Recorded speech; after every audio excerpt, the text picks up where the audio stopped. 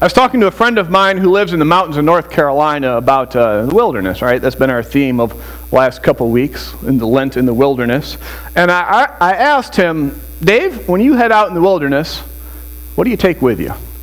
And, and, you know how when you talk to someone who really knows what they're doing, they just they know the answers right away. It was impressive. He could tell me, you know, Andy, if I'm going out for a day, I take this, this, this, this. If I'm going out for two days, I add this, this, and then from three to ten days, then I just start adding how much food I have to carry. And uh, it was really impressive. I wouldn't know how much to carry if I was going out for five days in the woods, but he knew just off the top of his head what he what he would need to carry. And so we were talking about this, and uh, he told me, I said, Andy, you know, my favorite trip to take is to pack up enough for two days and to go out somewhere beautiful, somewhere striking, a, a view from a mountaintop, a, a waterfall, just somewhere just beautiful. And to get there about mid afternoon, kind of enjoy it, spend the night, and then leave. And, and I thought, isn't that about right? Isn't that just a wonderful way to enjoy a spot? Because what comes so easily when you know you go on vacation and there's something beautiful to see, what, what, how do we usually appreciate it? On your left, you will see the 72 foot waterfall falling down. Okay, and moving on, now on your right, I mean, we, we tend to see things as, as a tourist. And, and the tourist way of doing things is you, you look, you read your little blurb in the guidebook, and then you move on. And what my friend was talking about was something far different, where you get somewhere beautiful and you sit there and you just kind of take it in for a minute. And after a while, you kind of get bored with it. So you make some dinner and set up camp and enjoy a meal, and then you, you're set up for the night, and then you, you, you enjoy it a little bit more after you've had dinner. And then you sleep on it and get up in the morning and you have coffee, and then you sit with it a bit more, this beautiful place. And then then you leave. And you've had time to really be there. As he was describing this, uh, that fr- phrase, be still and know that I am Lord, from the Psalms came to mind, and I thought, man, he's nailed that. He's got that down. And, and I'm, Olivia and I uh, are planning, and Sophia are planning on going out there this summer, and I, I hope to be able to do that with him so I can learn some, something of what he already knows. Well, as he was telling me this, I had a bit of a flashback to, to another time in the wilderness. Uh, a, a good friend of mine, Nicole, also someone I met in seminary, she's the one who taught me about the South. Growing up in Illinois, we would go down to Disney World to go see my grandpa, and I figured everything south of Illinois until Orlando was the South. It was just one big block of South. It was all the same, right? Well, not really. It's my friend Nicole who taught me the difference between Deep South New South, New Orleans, and Appalachia. Those are all very different parts of South, aren't they? All right. All have sweet tea, but besides that, they get very different from each other. And my friend grew up in Appalachia. And, and Appalachia, if you don't aren't familiar with the region, that is uh, the area of the country marked by the Appalachian Mountains. And it is poor. It is poor as poor can be. They didn't get involved in the Civil War, or they didn't want to because they were too poor to own slaves. They were just poor. But it's also beautiful. Appalachia is simply beautiful. And so, Nicole and I, on occasion, when we had a break from school, we would go over to Appalachia to uh, enjoy two things. We'd enjoy the shopping over at Pigeon Forge over by Dollywood. We didn't actually go to Dollywood because that would just be weird. But uh, then we would, uh, a, there's a knife shop there, Smoky Mountain Knife Works, where they have a stuffed elephant head. And the place is so big that the stuffed elephant head is just part of the decor. It's not even the centerpiece, it's just part of it. It's just, it's heaven. I love it. It's great. But we go there, and then Nicole and I would go take a hike and enjoy the, the wilderness, enjoy the nature. And uh, one time, she's wanted to bring me to this waterfall she had been to that she'd been back to many times, and she just loved it. And uh, so we got on our hiking boots and we set out. And, and we got out there, and we came around the we've been hiking up, up some mountains and it's a very close forest and we came around the corner and there it was this it was a it was a kind of a low waterfall but it was wide and it poured down into this great wide pool and the, the forest was all coming up over you and it was just beautiful. And, and as I, I looked at it and we had not communicated clearly or something because I thought that we were going to see this and then like keep on going out farther and, and there'd be some other stuff and then we'd come back maybe see it on the way back and, and so i thought we were going to keep on going and I didn't realize that, that that was it. We were coming out for that. And then we're going to turn around and go back. And so I said, that, that's very cool. And, and I got up to let go, and Nicole did, and she led the way off, and we started going back the way I came. And to this day, I feel like a dog, just an utter fool for not saying, wait a minute, I misunderstood. We're not coming back this. For not saying, okay, I, I missed, let, let's go back and sit because I don't know if I'll ever go, be able to go back to that place. And, and I, I whiffed. I should have just sat and been still and known something that you can only know from just being still and knowing that God is God and this is beautiful, and instead I was a fool. All right? Be still and know that I am Lord. I acted like a tourist that day.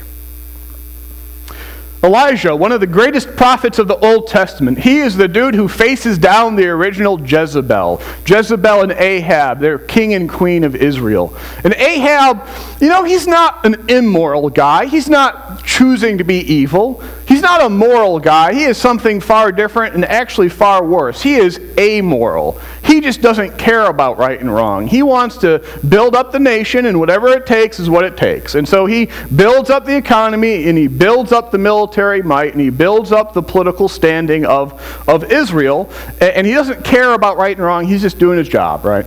And so part of building up the nation of Israel is he marries Jezebel, who is a princess of a neighboring kingdom. And Jezebel, she brings with her her God, her faith, and, and you can actually hear it in the name Jezebel.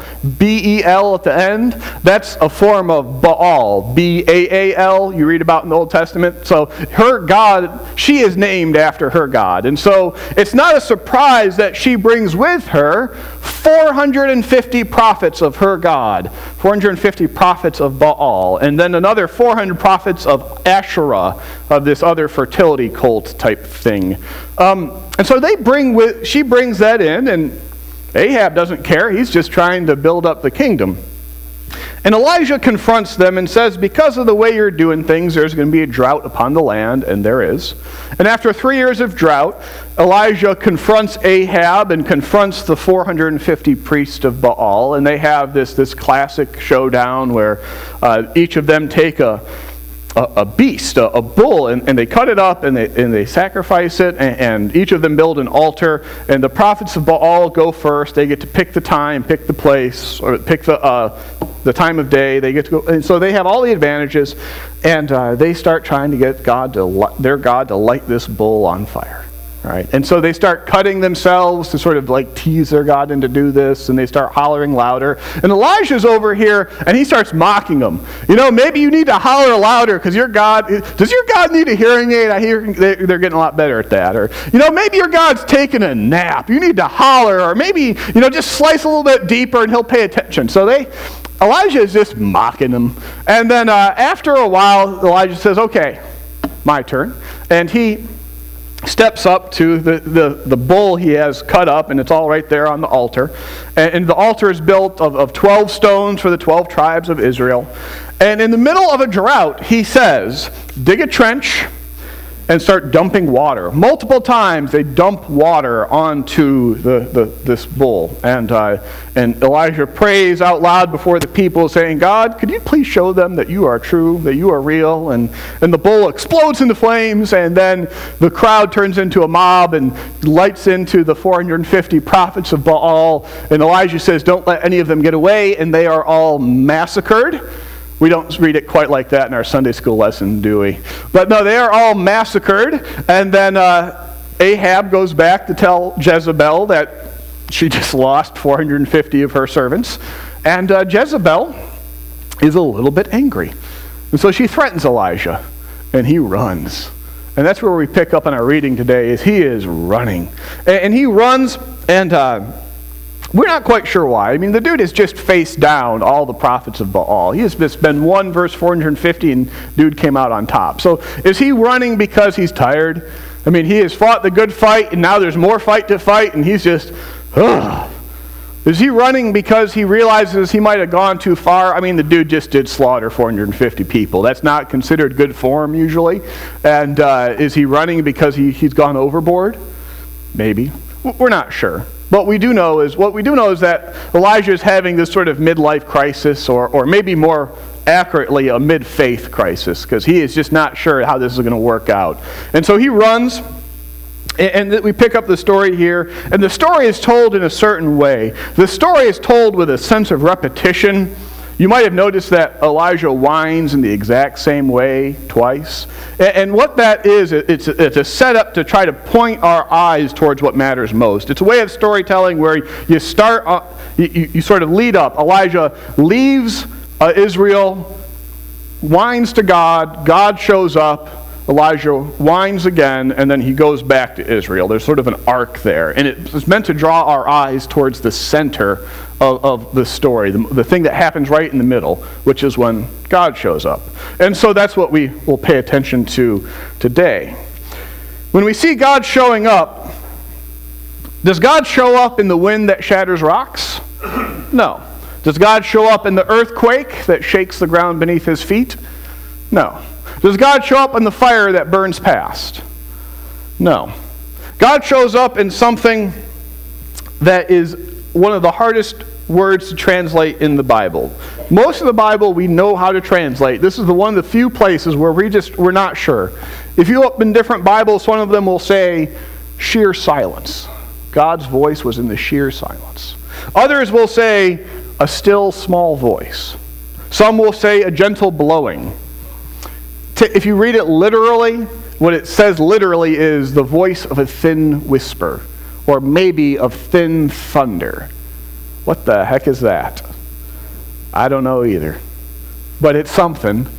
And it ain't the big, huge events. It's not the, the thunder, it's not the lightning, it's not the earthquake. It is something far different. What I would like to know though, and it doesn't tell us, but I'm going to guess that Elijah probably had to wait a while for this, didn't he?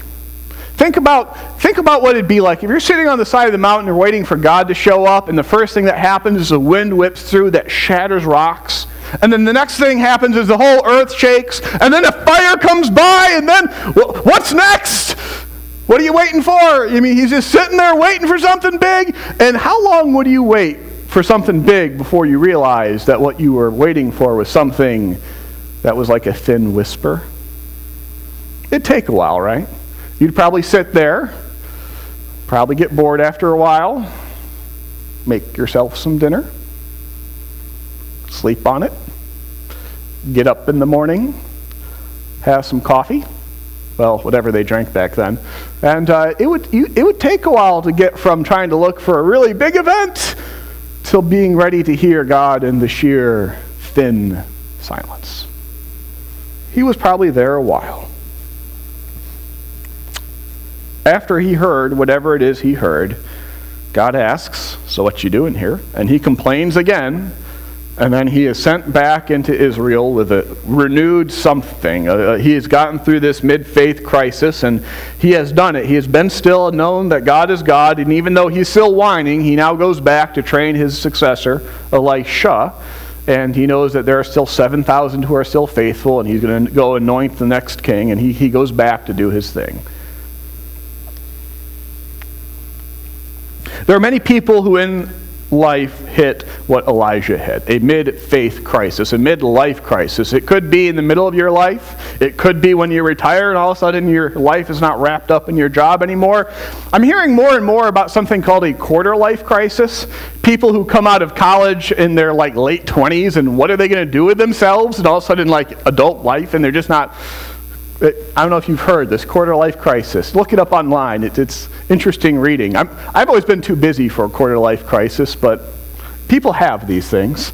And uh, when such events happen, there is this draw to get into the wilderness, to get away, to, to go and, and get your head on straight and to find what you need to find.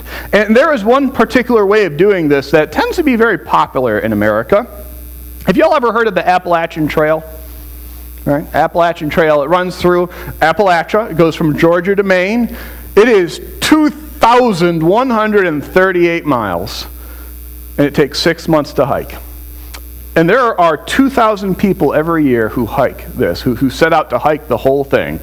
I mean, if you think about that, it, what would it look like for you to get to a point in your life where you needed to go hike for six months, right? This is not, hey, let's take a vacation. This is at the point of, I need to get my life straight. I need to get figured out where I'm going with myself. I need to get figure out something important. This is very similar to like Elijah, he takes 40 days to get to the mountain, however long he's on the mountain, 40 days back. That's three, four months right there. I mean, this is very similar to a similar length of time out in the wilderness. And so, of those 2,000 people who attempt to go from Georgia to Maine every year, you know how many people actually make it? One quarter. 500 people make it out of 2,000 who set out every year. What about those 1,500? Those 1,500 who set out in Georgia and they're going to hike north and they're going to hike for six months, are they failures? Some of them, probably. I mean, some of them, if you asked them, their goal would be, you know, I was going to hike the Appalachian Trail, and 700 miles in, my boots gave out and I had to quit. I mean, some of them probably were, our failures. But what I want to suggest to you is that if you go on a six month hike, you're trying to do what Elijah did or probably are doing that. And if you come up the hill one day, 1,200, 1,500 miles in, and you have that moment where you hear that still, small, thin voice, whatever it is, and you have that moment and you know that you've been still and known that God is God and you know what's next, I'm guessing a lot of people have that moment. And then they say, okay, I'm done now. And they leave the trail. Because how far do you have to go till you have that moment? You have to go till, till you have it. There's no set length. You just go till you have that moment, right? And I think that's what I want to leave you with today. This idea that if you're seeking to, to be still and know that God is God, if you're even potentially struggling with a mid faith crisis or will one day, I want you to know that when you go out to have this experience like Elijah had, how long does it take? Well, it takes as long as it takes. For some, like my friend David, it, it, takes just going out there and being out overnight. That's what it works for him. For some, it takes hiking the Appalachian Trail. For Elijah, it took hiking out to Mount Sinai. For you, it might take something else completely. But if you want to be still and know that God is God and figure out what's next with your life, well, be still and be still till you get it figured. How long will that take? I don't know. It takes what it takes. Amen.